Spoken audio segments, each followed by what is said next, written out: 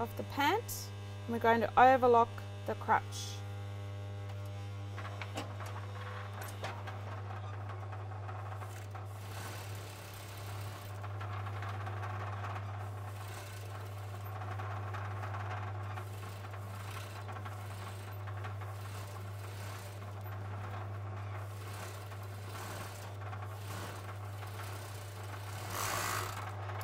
And we'll do the same on the other pant, the other leg.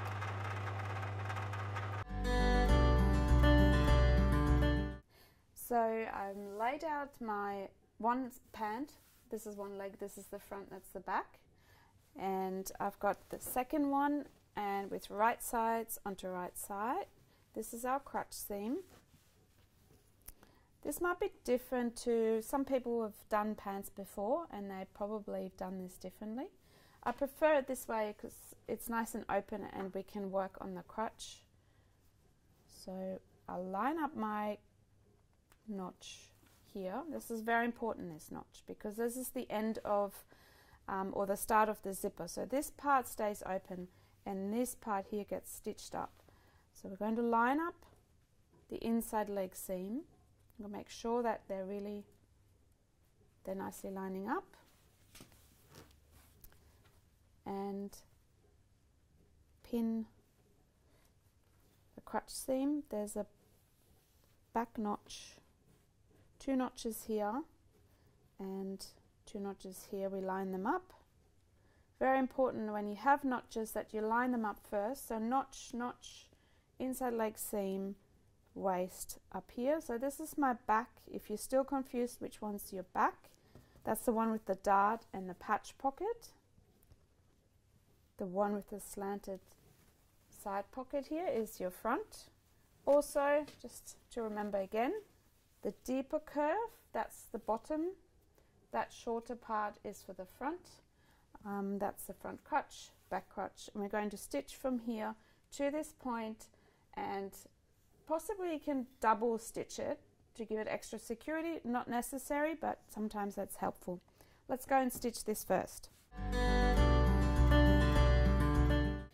We're now going to stitch the crutch seam from the center back coming from the top at 1.2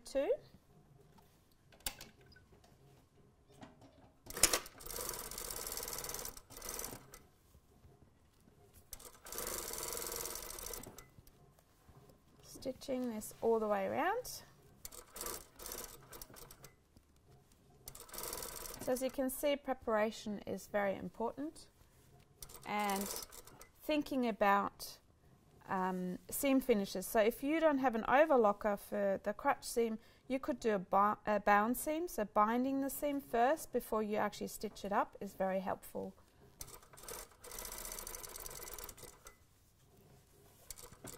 So we come to the curve at the front and this is the notch for the zipper.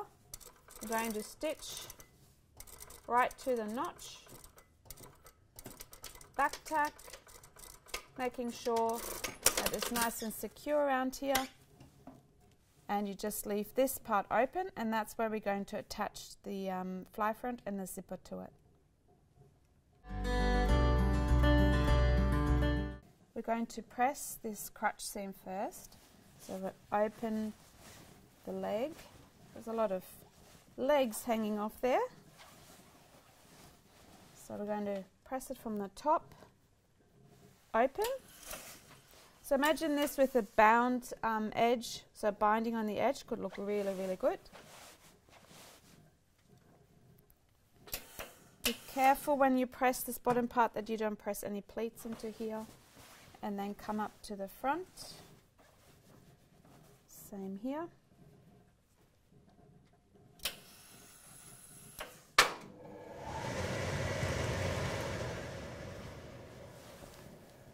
So we have the front panel, front leg. This side closes over that side. So the right side closes over the left side. So what we want to do now is have this left leg as worn. Um, and what we're going to do on the left side, the left leg, we're going to press the overlocking under. We're going to just press along the overlocking.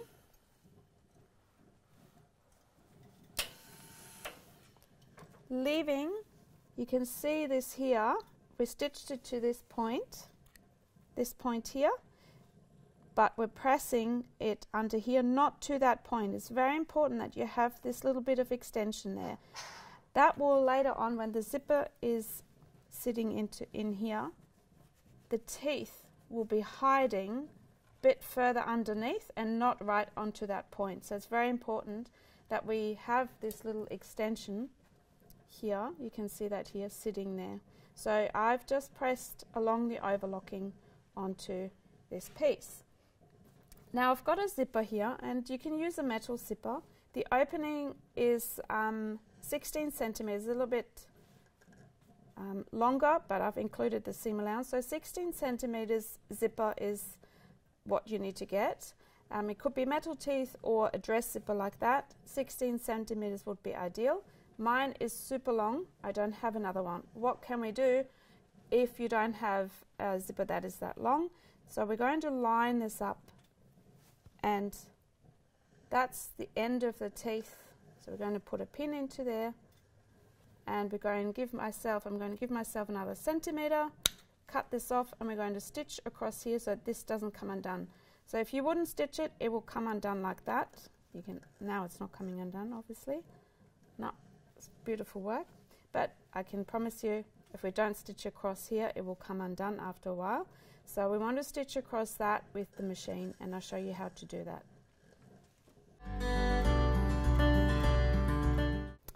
You can now stitch, so this is the end of the, um, or the opening on the pant.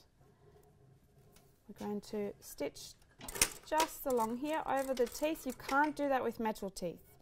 Your machine will not be able to do that on metal teeth, only on plastic teeth. So we're going to stitch there. So I stitched right on the edge, just along here, and I stitched a little bit further up, just to make sure